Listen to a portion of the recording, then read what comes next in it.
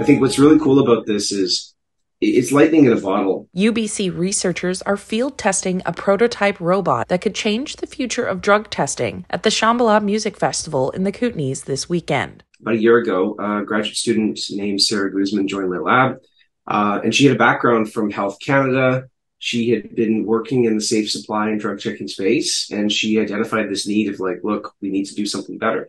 And the problem she saw at Health Canada was samples would come in and you know they're just overwhelmed. They might get one or two done or like they get samples done but there's this huge delay where the information comes back to them a couple weeks later. So it's too late by that point. The potentially life-saving machine will be set up at shambhala to identify unwanted substances in samples including fentanyl in about 15 minutes. If it's going to work it has to go outside the lab. We want to make sure that it can actually um, go out and work in the field so we were looking for an opportunity to uh, to for somebody to host us.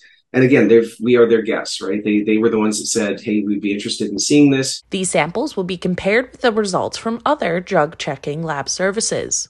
We are not the only line, right? There's the entire health tent with a lot of other uh, more seasoned people that is doing testing as well. So they're they're helping us by uh, all the samples coming through are being cross checked by the more established techniques, so that we know like we're in the still crawl walk kind of uh, uh space. The BC Coroner's Service said 184 people died in the province in June due to the toxic, unregulated drug supply. The goal is to eventually have the robot become fully hands free, fully anonymous kiosk that makes drug checking more accessible. But it needs to be something like a community uh, access point that anybody could sort of walk up, drop off a sample, 10 minutes later, you have information. This fall, the team will be scaling up the program where the same testing will be done from a Dropbox. You can drop off a sample, put it into a lockbox, and then we will test it uh, as soon as the sample gets registered. So that's probably about a day or so turnaround instead of a, a couple of minutes.